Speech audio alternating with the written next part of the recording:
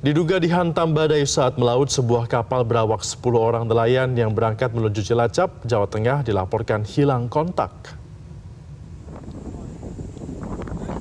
Setelah tiga hari dilaporkan hilang, tim SAR gabungan yang terdiri dari TNI Angkatan Laut, Basarnas, dan polisi hingga saat ini masih terus melakukan pencarian terhadap kapal Kilat Maju Jaya 7.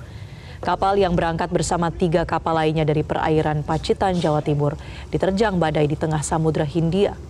Kapal Makmur Jaya 20, kapal Makin Jaya 2, dan kapal Maju Jaya 28 berhasil kembali menepi di perairan Pacitan.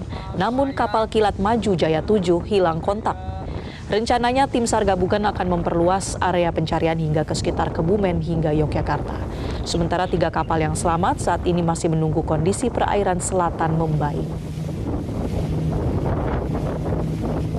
Ini gelombang yang cukup tinggi sekitar 2 sampai 2,5 meter uh, sehingga uh, kita dalam melaksanakan penyisiran atau pencarian uh, agak terkendala. Kemudian Seru 2 kita melakukan penyisiran di Muara Jetis, uh, Lokending hingga Pantai Mengati uh, menggunakan motor trail serta penggunaan Jelajahi cara baru mendapatkan informasi. Download Metro TV Extend sekarang.